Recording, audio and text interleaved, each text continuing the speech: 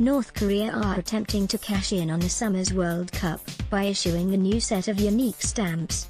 The five designs bear the name of the tournament in Korean and English and are supposed to depict tackling, goalkeeping, kicking, dribbling and heading. North Korea failed to qualify for the tournament, having last reaching the finals in the 2010 World Cup in South Africa.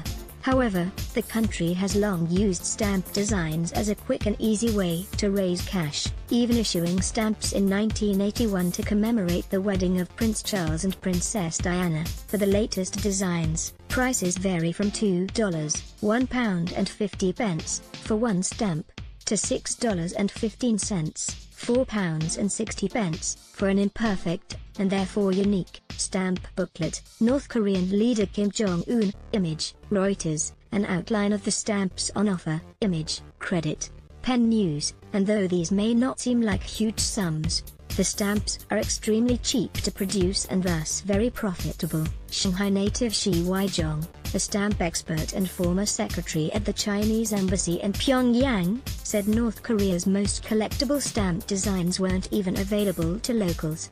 He said, in North Korea, collectors can only buy that small category of commemorative stamps issued for ordinary use every year.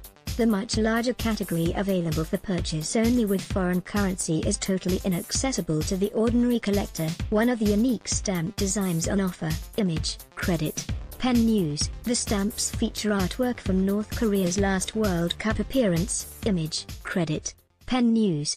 The stamps are extremely profitable for the state, image, credit, Pen News, philatelic, collectible, issues do not enter into the internal postal system, apart from their use by foreigners. A souvenir sheet that accompanies the World Cup collection gives a bird's eye view of a stadium, with the heading stamp at the center of the field. It also features St. Basil's Cathedral, a Moscow landmark, and the FIFA World Cup trophy.